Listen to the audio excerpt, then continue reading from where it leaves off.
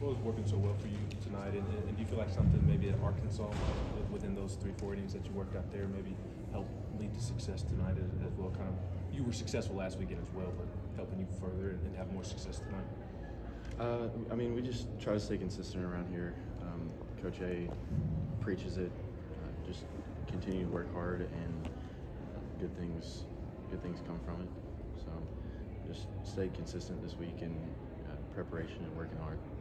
It like being in the dugout and watching, I guess, those final few innings tonight? Unbelievable.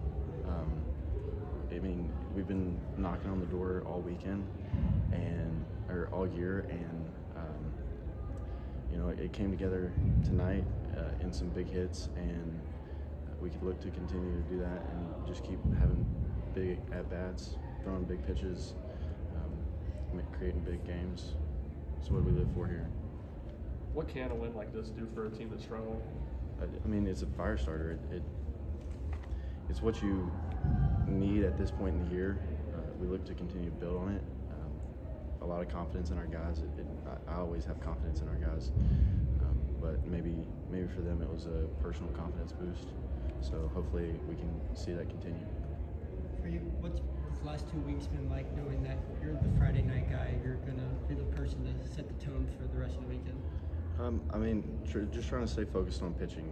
Um, I mean, obviously, it's it kind of carries a little bit different of a load with it, but uh, just trying to stay focused on on the one pitch that you are throwing in the moment and taking care of the batters and innings that you get to have. I know you're not playing tomorrow, but how, how difficult of a challenge is, is it going to be to, to, turn around this quickly? Emotions are, are, pretty high in a positive way right now, but you, you kind of got to flush them rather quickly. How difficult is that going to be? Yeah, it's, it's, extremely difficult. You have to have a, a certain level of maturity, and uh, I think we have a, a, lot of maturity on this team to, you know, flush those emotions come tomorrow, prepared, focused, ready to go, locking in, hanging up the cleats. So uh, I, it's really difficult, but uh, got to do it. I guess how, how exciting is it that win in the way that y'all did tonight, and now you get to turn around and hand the baseball to Chase Dollander?